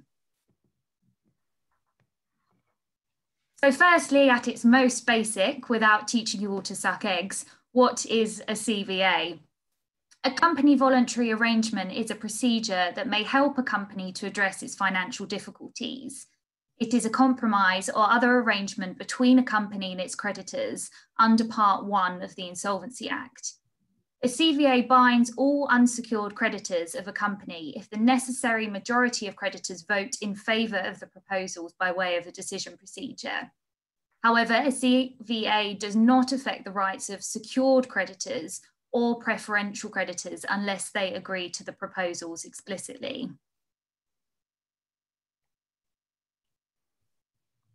The purpose of a CVA is intended to allow companies to avoid potential terminal insolvency proceedings by coming to a binding agreement or compromise with their unsecured creditors. Typically, a proposal for a CVA will include a rescheduling or reducing of the company's debts, but one of the main benefits of a CVA is its flexibility. CVAs may also be used to help implement a compromise between the debtor company and its creditors whilst the company is being administered through a formal insolvency procedure, such as administration, which Sam has just taken you through. Now, what entities are eligible for a CVA if you're thinking of entering into one? This is set out in section 1 sub 4 sub A of the Insolvency Act and broadly covers three types of company. A company registered under the Companies Act 2006 in England and Wales or Scotland, a company incorporated in a member state of the EEA, and a company not incorporated in an EEA member state, but having its COMI in an EEA state, except Denmark. However, notably, companies incorporated in Northern Ireland are not eligible for the CVA procedure under the Insolvency Act. They have their own form of the CVA procedure, and this has been, been picked up in the recent Monsoon CVA case.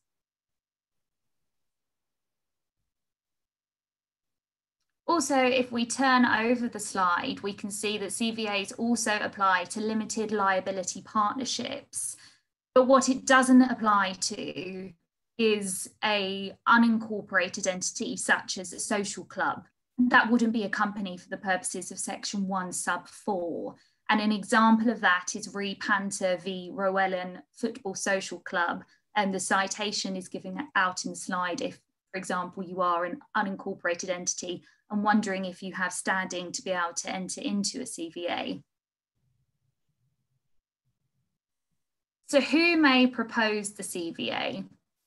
If the relevant company is not in administration or liquidation, generally CVAs are proposed by its directors. However, if you are in administration or liquidation already, it tends to be the administrator or the liquidator that may propose the CVA.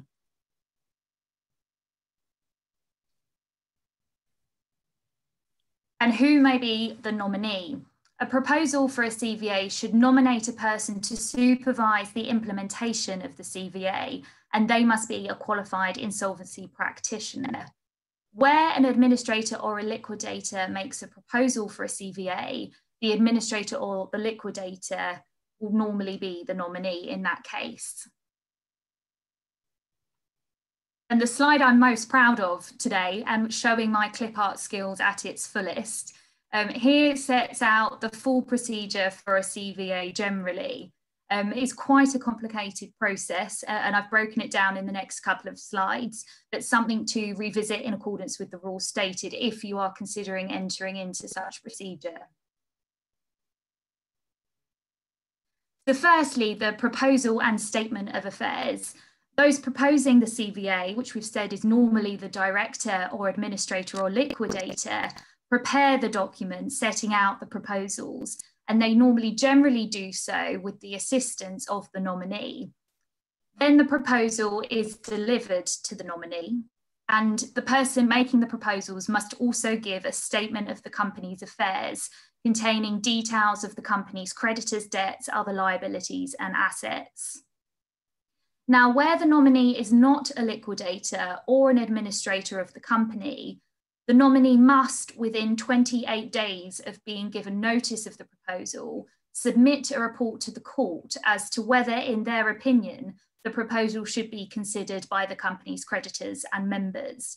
Now, generally, as the um, nominee is assisting in the CVA proposal, in all reality, that will be done before the 28 days starts kicking, but it is a tight time limit and, and one to be aware of. And if the nominee thinks that the proposal should go ahead, it has to seek the decision of the company's creditors by way of a decision procedure and a decision of the company's members at a meeting of those members.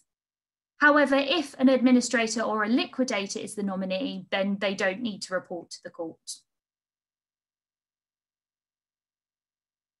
So the second step, looking at creditor's decision and members meeting, where the nominee does recommend to the court that they should consider the proposal, the nominee has to seek the creditor's approval by carrying out one of the decision procedures set out in Part 15 of the Insolvency Rules 2016. Notice of the procedure must be given to every creditor of the company of whose claim and address the nominee is aware. The nominee must also call a members' meeting for the date, time, and place recommended in the report to the court, unless the court orders otherwise. However, where the nominee is the liquidator or administrator, the nominee can order such a meeting as it sees fit. The members' meeting has to take place after the creditor's decision's been made and within five business days following that decision. Now, step three, the all important approval of the CVA. So the creditors and the shareholders of the company decide whether or not to approve the proposed CVA. The golden 75% rule is that the CVA proposal will be implemented if at least 75% by value of the company's creditors who respond in the decision procedure vote for it unless those voting against it include more than 50% by value of all the unconnected creditors whose claims are admitted for voting. The company's shareholders can approve the proposals by a simple majority in value. However, if the company's creditors approve the proposal, the CVA will be implemented. So who does that proposal bind? A CVA cannot affect the rights of a secured creditor to enforce its security except, except with its explicit consent. So, unlike preferential creditors, secured creditors cannot vote on a CVA, save to the extent that their debt is unsecured. This effectively means that debt owed to a secured creditor cannot be compromised by a CVA and must be dealt with by direct negotiation or paid in full. A CVA binds all creditors who are entitled to vote in the decision procedure, including dissenting parties, and who would have been entitled to vote if they had notice of the decision procedure. So in reality, this means that a CVA, once it's approved, both binds both known and unknown creditors in relation to debts which the CVA is drafted to encompass. And the final step is how is the CVA fully implemented after it's improved? The approved CVA takes effect from the date when the creditors decide to approve it. Um, on approval of the CVA, the nominee is redesignated as a supervisor of the CVA and is empowered to implement its terms. And in doing so, they are entitled to apply to the court for directions. And the final step for the supervisor is on completion, they must send a final report on the implementation of the proposal to all shareholders and creditors who are bound by the CVA. And that needs to be done within 28 days of the CVA's completion. So that's a quick run through of the procedure for a CVA. Um, the other and final major topic in, in CVAs is well, if I don't like it, how do I challenge it? Um, now, firstly, looking at the grounds, the two major grounds that are set out in Section 6 of the Insolvency Act in terms of how to challenge it are first, unfair prejudice, and second, material irregularity. First, if we have a brief look at unfair prejudice, this is a question of fact determined on a case by case basis. A CVA which treats different unsecured creditors in different ways may be prejudicial, but the question of fairness depends on the overall effect of the CVA.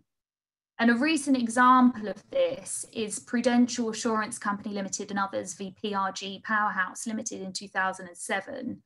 Now, in that case, um, it's a High Court case.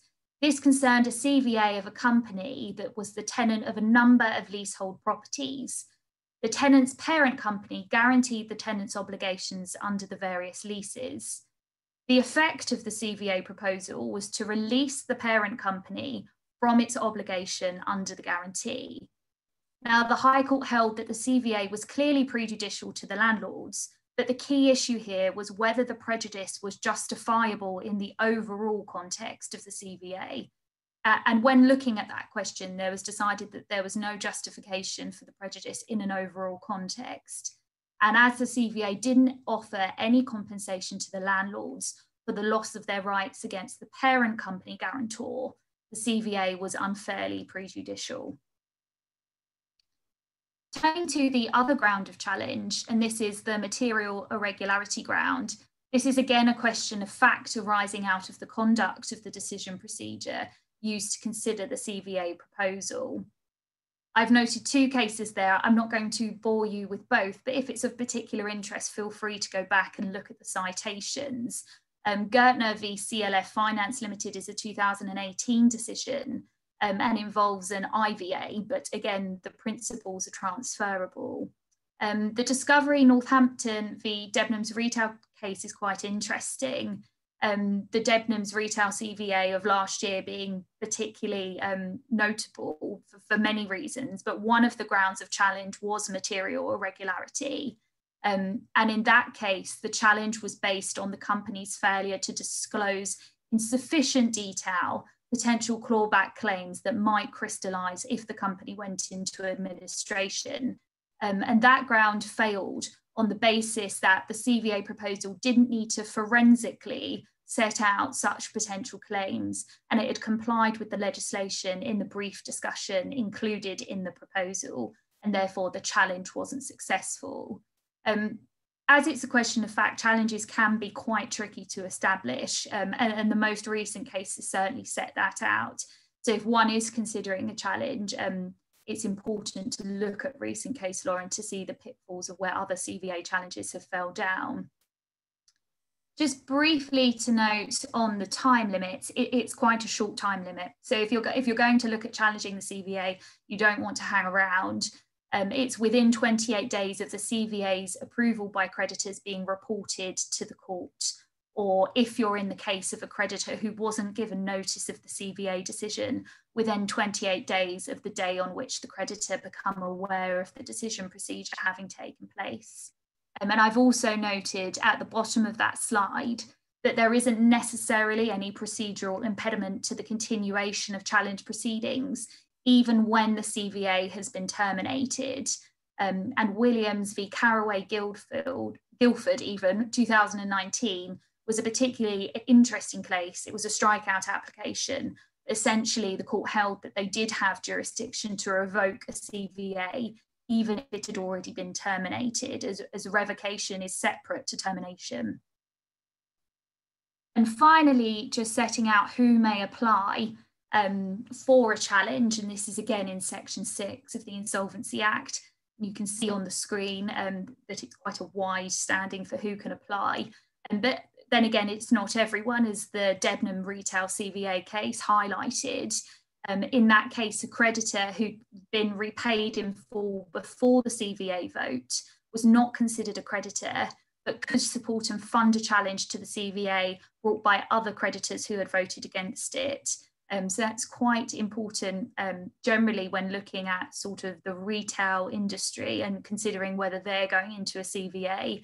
Um, I note at the moment, New Look in particular had their CVA approved last month and it looks, looking at the Financial Times from yesterday, that there are four separate challenges in, in that case from different landlords. Um, uh, and looking at standing, it's curious whether a similar situation to that in Debenhams might arise in terms of um, New Look. And that's it from me today and our whistle stop tour on CVAs. Um, thank you for listening to me. Um, on the screen is two recent um, articles from Three Hare Courts. Um, due to coronavirus and the times we find ourselves in, CVAs are an increasingly popular um, tool, restructuring tool in the market. And we're writing a series of articles on CVAs. Um, my colleague Richard Bottomley has written an article on the overview of CVAs. And this week I've published an article on CVAs, COVID 19 and rescue culture, looking at um, the standard form COVID 19 CVA published by R3. Um, and I believe there's one on the hot on the press from Ben Channer coming next week. Um, so please, please keep your eyes peeled for that. I'm now going to hand over to my colleague Daniel Black for the final talk of today um, before our final networking session, and this is on schemes of arrangement. Good afternoon, everyone. I'm Daniel Black, as Hannah has just introduced me as, and I'm going to be talking about schemes of arrangement and restructuring plans. I realise that I am uh, quite late uh, in the day in terms of joining everyone, but uh, I thought it would be would nonetheless be useful to, to have a look at both of these topics. So initially, uh, the, the point to look at is schemes of arrangement and the fundamentals of them. Now, what I propose to look at here uh, is, is their key features, their, their procedural stages, uh, as well as their uh, requirements, coming uh, ultimately to the court's role, uh, and, and, use this as a basis to illuminate uh, our investigation of the new restructuring plan. So in terms of, of what a scheme of arrangement is, it's a statutory procedure, rather, under Part 26 of the Companies Act, whereby a company can make a compromise or an arrangement with its members or creditors, or indeed with any class of them. Now, it's important always to remember in this uh, context uh, that the legislation does not prescribe uh, the possible subject means to which uh, you can use this mechanism. Thus, for example, you can use it for group reorganizations, for acquisitions, for demergers, uh, and, and many other uh, matters as well. But the key point, the key conditioning criterion, uh, if you wish to think of it that way, is that you can do it for these exercises insofar as they concern companies. And that's because Part 26 makes clear that a company must be a party to this type of arrangement. So therefore, the question is raised, what is a company? Uh, well, that's identified for us in section uh, 8952 of the Companies Act, which provides that company means any company are liable to be wound up under the Insolvency Act 1986. And what this means is that it can apply to unregistered companies and it can also apply to foreign companies. Uh, and that's by virtue of section 221 of the Insolvency Act. Now you've noticed uh, I've mentioned foreign companies and necessarily we have to keep our, our heads um, in the game for potential complexities in that regard. And uh, currently, uh, and currently remains a loaded word, but, but currently the courts um, are increasingly requiring English company applicants uh, to address the jurisdictional issues raised by the Brussels and recast regulation. And I say currently uh, is a loaded word because, of course, uh, the United Kingdom's position with respect to uh, and, and, enforcement of judgments and the legal basis for those is likely to be subject to change and very quickly. So that's certainly something to keep one's eye out for. what's the next point to consider uh, and what's inherent in the nature of these arrangements is that they're a court approval mechanism. Uh, and the effect of that is such that a court will have to be satisfied. Uh, and generally speaking, in respect of the arrangement, uh, a court would have to be satisfied that it was fair, uh, that it was reasonable, uh, and that it represented a genuine attempt to reach agreement between the company and its creditors and or its uh, members.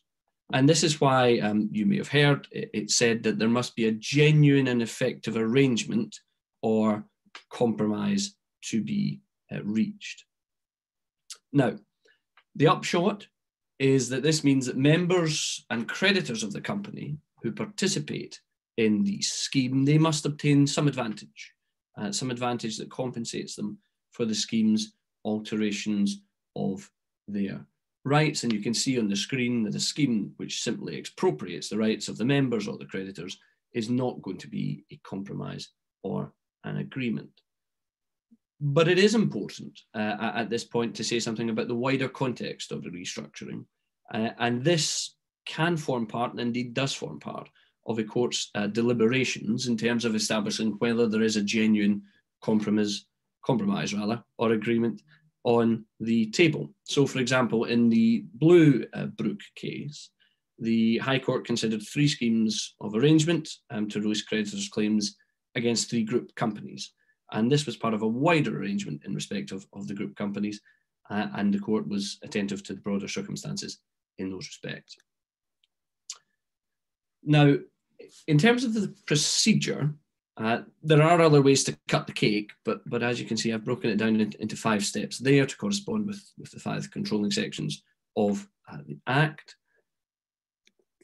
Now, life begins for schemes of arrangement uh, with an application in the company's court uh, for an order to summon a meeting of the relevant class or classes of members or creditors in any such member that the court, uh, manner rather, that the court may direct. You can see on screen there, um, any of the following parties are available um, and competent to apply for an order. But one thing that we should bear in mind, and of course, as is to be expected, is that there's a considerable amount of formality in the application process. Uh, the procedural requirements for implementing such a scheme are set out in Part 49 and Practice Direction 49A uh, of the CPR. And one also uh, must um, pay attention to the requirements of Chapter 21 of the Chancery Guide and the practice statement which accompanies it. In terms of issuing the proceedings themselves, uh, a, a, claim form is going to be issued, and amongst uh, other matters, there are going to be three important uh, things to be sought from the court in that respect. The first is uh, directions uh, that the meeting of the members or creditors be convened.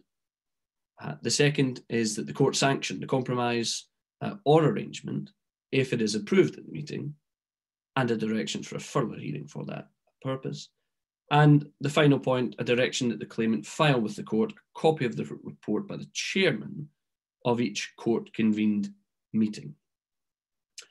The claim form itself should come with a supporting witness statement, and that should set out all of the relevant facts, including the rationale for the scheme, the proposed location of the meeting, the various classes of shareholders and creditors to be involved, and details of any required advertisements. Uh, and a copy of the scheme circular, therefore, should be sent to the members or to the creditors, um, and that should be attached to the witness statement. Once the court has called the meeting, um, the next stage is notification. And at the stage of notification, the company sends a notice to the members and or to the creditors, uh, summoning the meeting together with an explanatory statement on the effect of the proposed scheme. Now, this explanatory statement is an important document.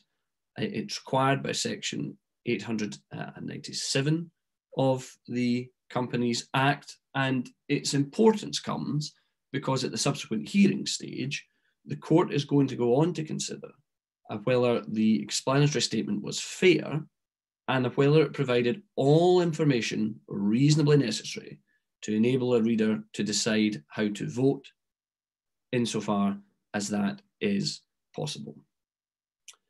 Now, another thing which this statement must do, and this is as a result of section 897.2 of the Act, is it must disclose any material interests of the directors in whatever capacity uh, and the effect of the scheme on those interests. Uh, and if any change is not disclosed, then the company will have to satisfy the court that no reasonable member or creditor uh, who'd been aware of the information concerned would have just would have changed their decision on how to vote. And that's simply one example of, of the strictness in some respects of the formality requirements. The meeting is the next stage, and really it's the bit in bold here, which is worth uh, focusing on. Uh, the scheme needs to be approved by majority in number representing three quarters in value of the members or creditors of each class, uh, as is relevant, whether they vote uh, by person or in proxy. And that's a point to keep very much in mind when we go um, to look at, at the new um, and, and supplementary uh, regime in the second half of this talk. This, um, I suppose, in some respects, I could call the Bayer slide. Uh, the hearing, the court will uh, meet uh, and it will consider, um, in accordance with the requirements of the Act and uh, the facts at hand, whether um, the scheme should be approved or whether it shouldn't. One thing to note in this respect, um, because I'm just going to deal with the role of the court in a moment in slightly more detail, but, but at this stage, uh, any proposed scheme should not include any modification provisions and it shouldn't be altered after it has been voted on and sanctioned. And that's the case even if all of the creditors um, or the members acquiesce in those alterations. That's the effect of a 1938 decision, uh, Devi uh, and People's Bank of Northern India uh, Limited.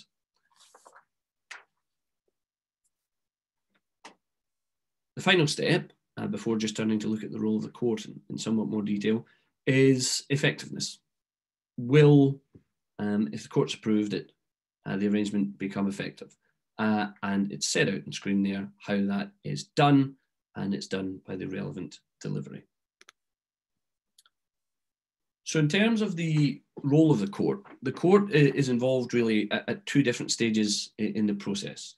The, the first stage is the court has got to decide whether to order meetings of members and or creditors to be convened for the purposes of voting on the scheme.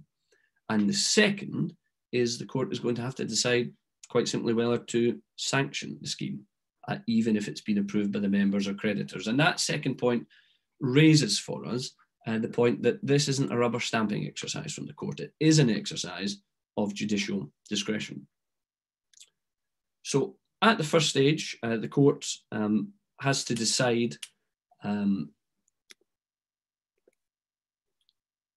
whether the scheme has sufficient general support to uh, have a prospect of uh, success and um, whether the relevant divisions have been done uh, properly. Ultimately, when the court comes uh, to the decision with respect to whether to sanction uh, the scheme, it must decide whether necessarily it's been approved. That includes a consideration as to whether each class of members has been fairly represented, as to whether there has been compliance with the Companies Act and also with the general uh, law. Uh, and that uh, can relate to things such as, as how acquiescence um, was obtained, and also whether ultimately everything is uh, reasonable. Uh, and this is brought out um, in a case called Re Anglo Continental Supply Company Limited uh, from 1922. So fairly well established principles in, in play here. There's a list of commonly used documents on screen just now. I wouldn't linger on it, but it, it may uh, prove um, useful uh, for consideration uh, later. Skipping on then uh, into the, the second half of the discussion, uh, the restructuring plans uh, re regime was brought in by the Corporate Insolvency and Governance Act 2020 and the provision is given effect in part 26A of the um, Companies Act. It's colloquially uh, known uh, as the super scheme, and it's designed as a powerful and flexible um, process whereby a court can supervise and authorize a restructuring. Uh, there is, uh, you'll see the, the sort of third category down there, one of the clunkiest and, and perhaps ugliest phrases in the uh, common law, cross um, class cram down. And uh, we will come to that in some detail. There was the pioneering example of restructuring plans, re Virgin Atlantic uh, Airways. I don't propose to go to it in any detail, though I do mention two points on it uh, later, uh, and I leave it there uh, as some um, point of interest should people wish to pursue it, and also a reference um, to the relevant practice statement at the bottom uh, of the page. So this new regime draws some inspirations from schemes of arrangement and the restructuring plan, however, does have critical differences. And the critical difference, probably the most critical difference to a scheme of arrangement, is that a restructuring plan can be imposed on non-consenting or dissenting, had to put it that way, classes of creditors. And that's where a cross-class uh, cram down uh, comes in. And we look at that in a little bit of detail below. In terms of the proposal, um, it's most likely to be proposed by uh, the debtor or, or the company. Creditors and shareholders are competent to do so, but they would face significant um, resourcing uh, requirements in terms of putting together a, a realistic and, and credible uh, program. So it's anticipated that the debtors or the company generally will, lead this.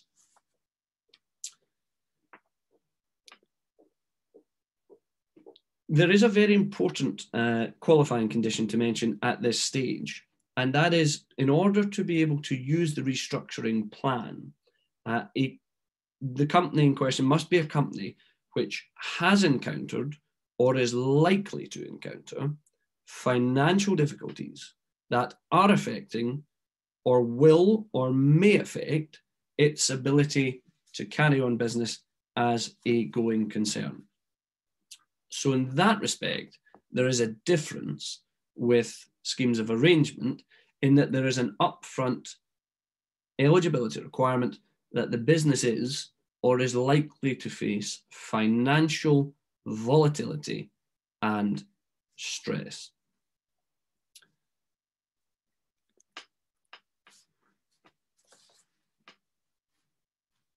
Now, I've set out the um, process on the screen uh, there. You can see four steps to be uh, going through. I, have cut the cake that way uh, as opposed to the five steps uh, under the um, scheme of arrangements uh, system.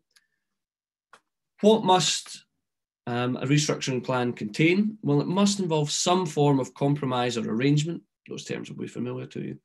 with the purpose being to deal with the company's aforementioned financial difficulties.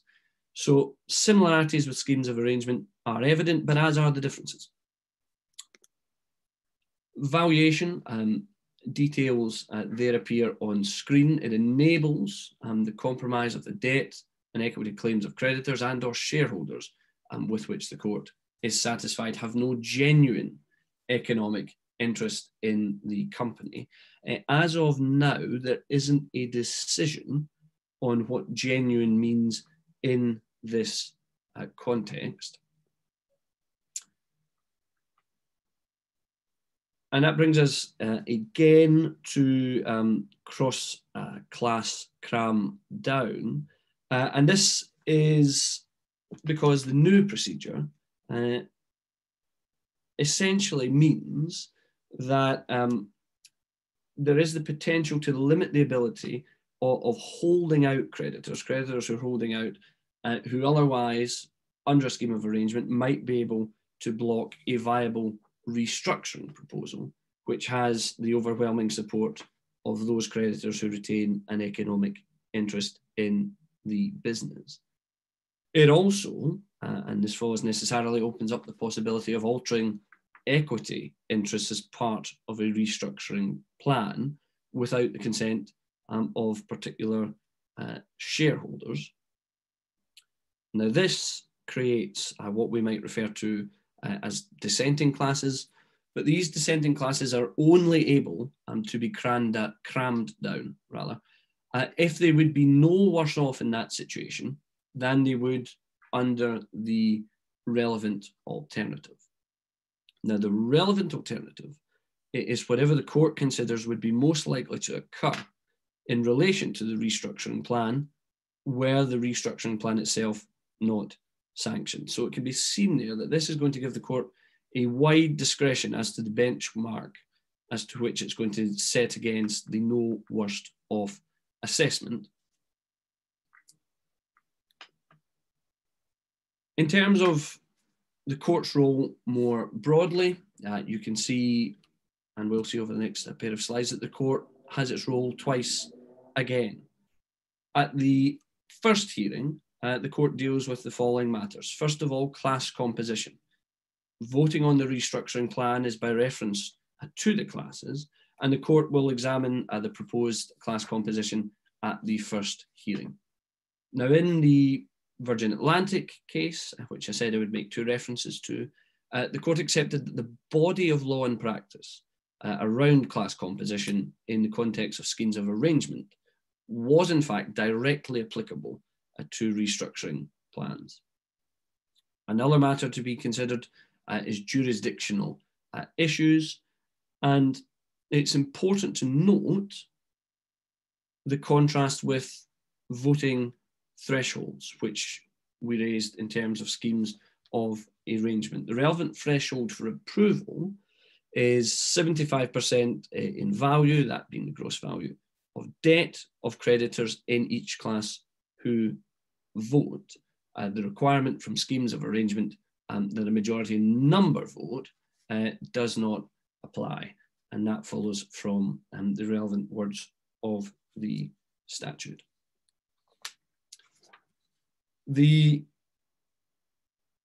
court's role comes in again at the second stage, and that is to decide uh, whether, if the relevant requirements at this stage have been met, whether it's going to be just and equitable in order, oh, sorry, whether it's going to be just and equitable if the court does so order that um, the plan can be sanctioned.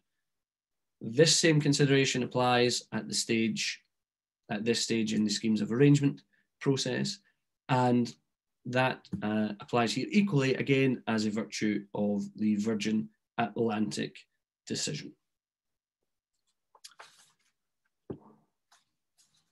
Now, on screen, I've just tried to bring up um, a summary of some of, of the key points of, of what can be done with respect um, to schemes of arrangement and with respect uh, to the restructuring uh, plan, identifying some of the similarities and some of the differences uh, which um, we have looked at uh, today. Thank you very much to Sam, Hannah, and Daniel, in particular, Hannah and Daniel, who are doing this after a long day in court. Um, a huge thank you to everybody who's attended today, particularly those of you still on the line after um, two and a half hours. Um, thank you to all the speakers, to the hosts of the breakout rooms, and in particular to the support that we've had from Leanne and Kat um, from Three Hare Court. Please um, do contact us if you want the slides from today. Um, similarly, if you um, would like any in-house training or any other introductions to members of Three Hare Court, please do reach out to us. We're going to go into another breakout room now for anybody who wants to stay and chat there's just going to be two larger breakout rooms um, at the end. Um, and other than that, thank you again and have a good evening.